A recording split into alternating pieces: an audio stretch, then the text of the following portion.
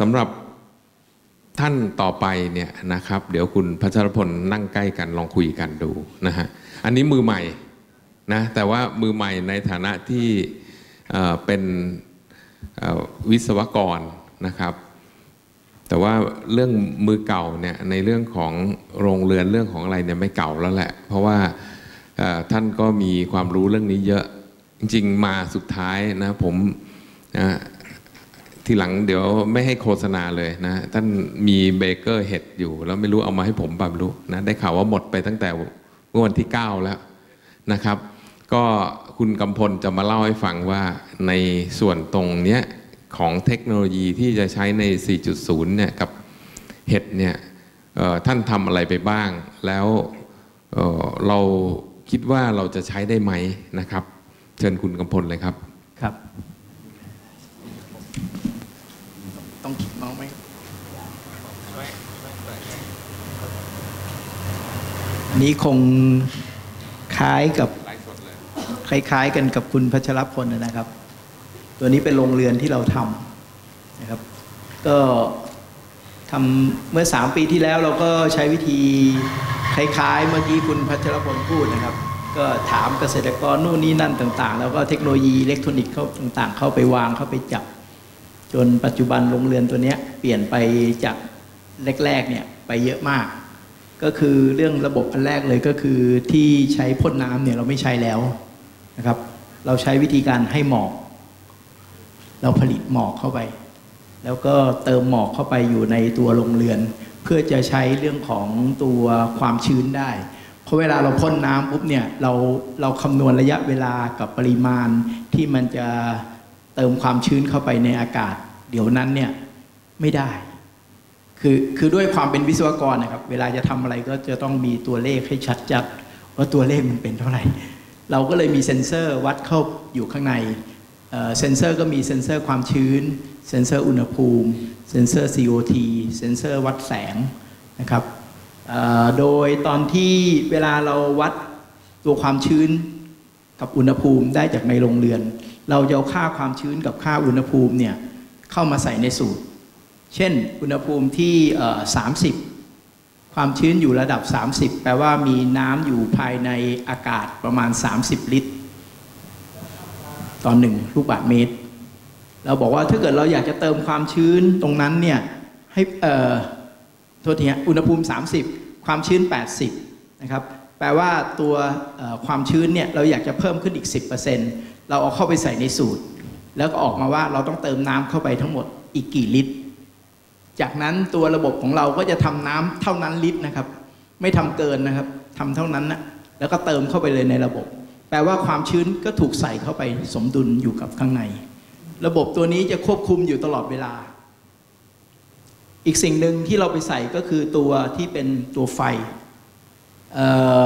ก็ไปดูเมืองจีนกันมาก็ใช้ไฟสีขาวนะครับ ก็เขาบอกว่าใช้ไฟสีขาว เพราะว่าเวลานักวิจัยทำอะไรก็แล้วแต่ ออกไปสู่เกษตรกร เกษตรกรไม่ต้องไปซื้อ LED ใหม่ จะได้ใช้ไฟแบบเดียวกัน ก็คือใช้ไฟลำไรเอลำเอลำเออแสงที่เป็นลำไรลำไรของตัวแสงแดดปกติ ก็คือเหมือนแสงสีขาวนั่นเองนะครับทุกคนก็จะถามว่าแล้วทำไมผมใส่ไฟดิสโกเทคเข้าไปทำไม ก็ไม่ได้ด้วยรักอะไรนะฮะเราใส่เข้าไปเพราะว่าข้อแรกเลย เนื่องจากเราถามแล้วว่าแล้วตกลงไฟอะไรดี เขาบอกถ้าเกิดไฟดีอยู่ในอยู่ในพืช ก็ต้องเป็นไฟสีแดงกับสีน้ำเงิน แต่เห็ดไม่เกี่ยว เห็ดไม่จำเป็น เรากลับมาคิดว่าตอนที่เห็ดมีราคาตกเนี่ยเราทุกคนก็ไม่ปลูก ทุกคนก็จะเปลี่ยนการปลูก แล้วโรงเรือนก็จะอยู่เฉยๆ เราก็เลยใช้ไฟที่ดีที่สุด วันหนึ่งอยากจะเปลี่ยนเป็นปลูกอย่างอื่น เราก็เปลี่ยนได้ ซึ่งปัจจุบันตอนนี้กำลัง จะเปลี่ยนเอาโรงเรือนตัวนี้มาปลูกสตรอเบอรี่ แล้วก็กำลังจะปลูกอีกตัวถ้าเกิดรัฐบาลอนุญาต ก็คือจะปลูกกัญชา หลายท่านถามว่าทำไม กัญชามันดีนะฮะ ไม่ได้ว่าดีแล้วกินหัวเราะสนุกสนานไม่ใช่นะฮะ คือมันเป็นยาด้วยตัวหนึ่ง และอีกตัวหนึ่งก็คือมันเป็นโรงเรือนปิด มันควบคุมง่ายนะครับในในในตัวโรงในตัวโรงเรือนเรามีกล้องวงจรปิดเรียบร้อย เปิดประตูมีเซ็นเซอร์รู้หมดว่าเปิดประตู เปิดตอนไหนเปิดเมื่อไหร่ยังไงนะครับมันเลยทำให้ระบบโรงเรือนที่เราทำเนี่ยนอกจากจะปลูกเห็ดแล้วปลูกพืชอะไรก็ได้ เพราะว่าน้ำได้ อากาศดี คุณภูมิเรียบร้อย CO2 คุมได้ แต่ถ้าเกิดไปปลูกกัญชานี่ต้องเอา CO2 เข้านะฮะไม่เอา CO2 ออกนะครับก็ก็กำลังกำลังหาวิธีการอยู่นะครับ ว่าจะเติมเติม CO2 ยังไงให้ถูกที่สุดในระบบครับในส่วนตัวการเลี้ยงก้อน บางคนบอกทำไมเลี้ยงก้อนแบบนี้ ก็โดนเกษตรกรเขาบอกมา ว่าให้เราเลี้ยงก้อนแบบนี้ แต่สิ่งที่เราเราเราเห็นก็คือ การเลี้ยงก้อนแบบนี้ ก็ยังออกดอกสมบูรณ์อยู่ แต่อาจจะด้วยเราเลี้ยงแค่สี่สี่ชั้นนะนะฮะแล้วก็เว้นระยะสี่ชั้น แล้วก็เว้นระยะ แล้วก็มีอากาศถ่ายเทด้านหลังอะไรต่างๆ ครบหมดสิ่งที่เราทำทั้งหมดเนี่ยตอนนี้เราได้พัฒนาตัวเห็ดที่เราทำเนี่ยให้กลายไปเป็น เบอร์เกอร์เบอร์เกอร์เนื้อนะครับไอตัวเบอร์เกอร์เนื้อ ผมจะลองให้ดูก่อนแล้วกัน ว่ามันประมาณหน้าตาไง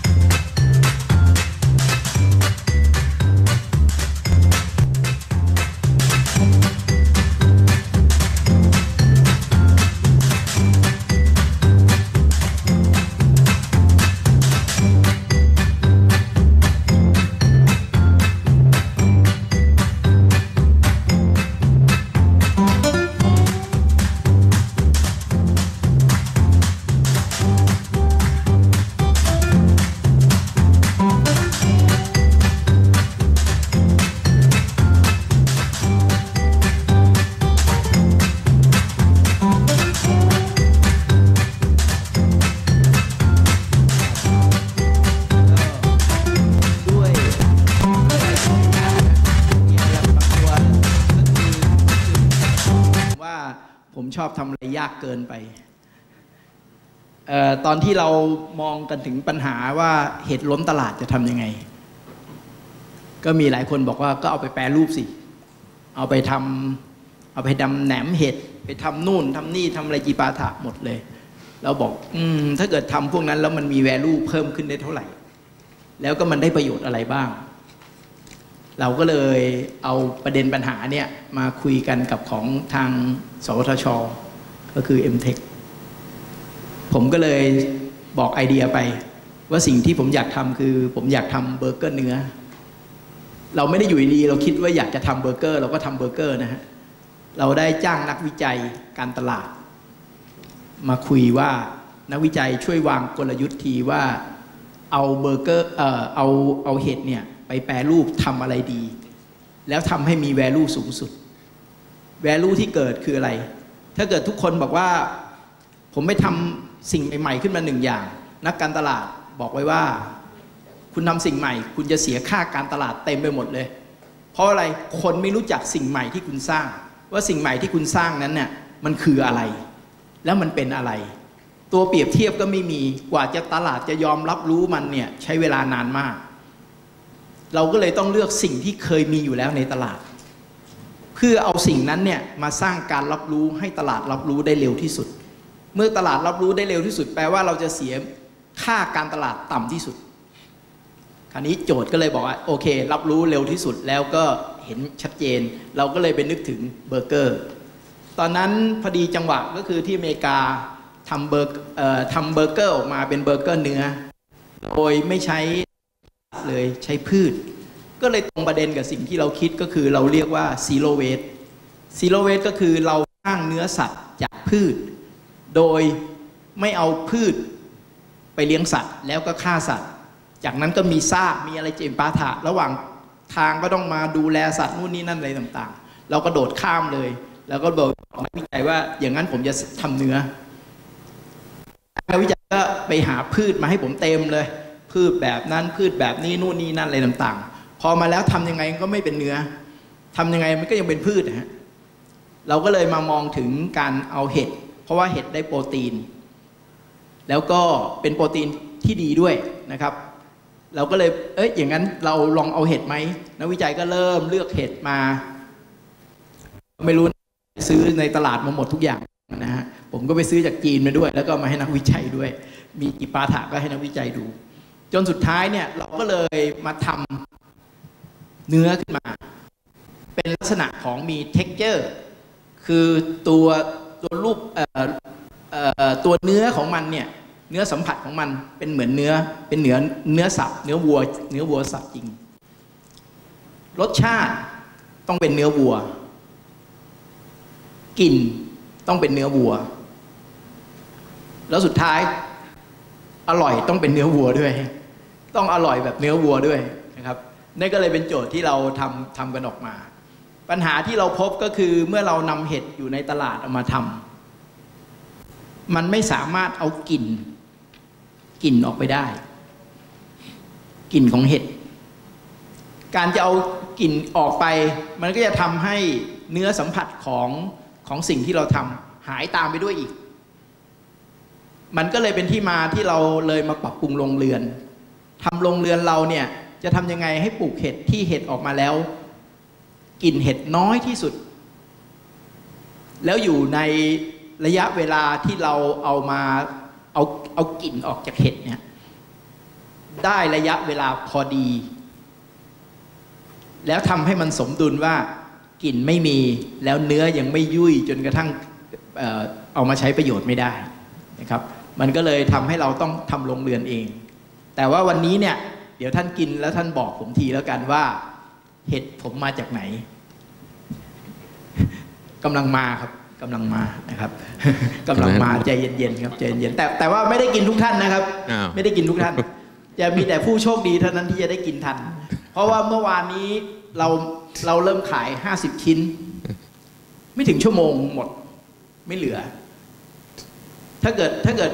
แม่ครัวทำเร็วกว่านั้นนะจะ15นาทีน่าจะหมด นะฮะเพราะคนต่อแถวกันนะฮะวันนี้ไม่ต้องต่อแถวฮะเพราะของมีน้อยฮะก็จำกัดเท่าเท่าที่เท่าที่มีชิ้นนะครับ แล้วก็จะได้ทานพอดีเอ่อถ้าเกิดสนใจก็ไปดูที่บูธอยู่ที่บูธไหนผมยังไม่รู้เลยลูกน้องไม่รู้ตั้งไหนก็เดี๋ยวเดี๋ยวดูเอาแล้วกันครับคราวนี้กลับไปที่ตัวโรงเรือนนะฮะเอาสั้น ๆนะครับ เดี๋ยวเวลาสั้นๆแล้วครับอยากจะให้ข้างล่างถามแล้วก็สั้นสุดข้างล่างอยากถามแล้ว อันนี้คือตัวโรงเรือนที่เราเราเน้นจะทำขึ้นมานะครับ เป็นโรงเรือนรูปแบบของโรงเรือนน็อกดาวน์เราพยายามจะทำให้มันถอดประกอบได้ ก็คือถอดแล้วย้ายไปที่ไหนก็ได้ หรือว่ายกแล้วย้ายไปที่ไหนก็ได้ โดยข้างในก็จะมีระบบครบถ้วน ให้ให้ครบถ้วนอยู่ที่ที่เมื่อกี้พูดนะฮะก็คือน้ำต้องกรอง อากาศต้องกรอง คือน้ำสะอาดอากาศสะอาดเห็ดก็จะสะอาด ดมแล้วก็จะสดชื่นนะฮะเพราะนั้นเนี่ยสิ่งพวกนี้เราเราเราต้องพยายามให้ให้ตัวโรงเรือนเราเราเราเหมือนที่ทุกท่านว่าสะอาดที่สุดเท่าที่จะทำได้